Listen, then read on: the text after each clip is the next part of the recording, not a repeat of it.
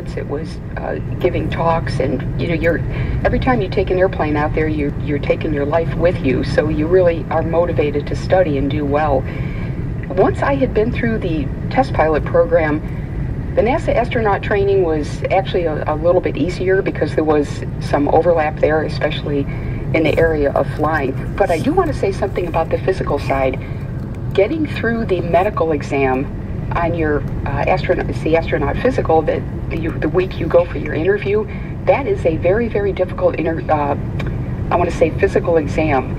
And there's not a whole lot you can do to control it other than keeping yourself in the best health possible because there many uh, applicants are disqualified for things they have no control over, like, you know, their eyesight or maybe their hearing or something like something that you really can't do anything about.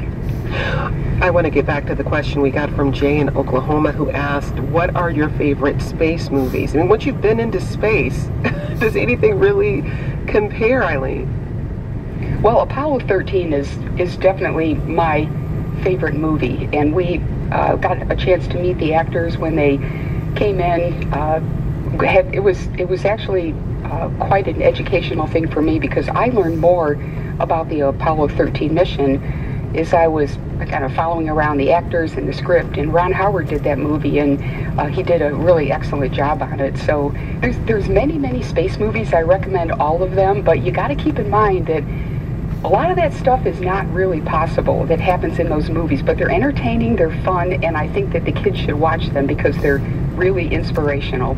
Terry, favorite space movie? Um, I've got a few. I love Apollo 13. I love Interstellar because it's a father-daughter film. Um, there's a movie called Apollo 11. It was a CNN documentary, and when I saw that in a theater a few years ago, my heart was actually beating faster than it was when I actually launched into space. I helped make a movie called A Beautiful Planet that was an IMAX movie, um, and it's a great, it's the best way to experience a space mission um, in an IMAX format. But I've got a few. Great stuff is great. I could go on. I just want to mention uh, we did an interview.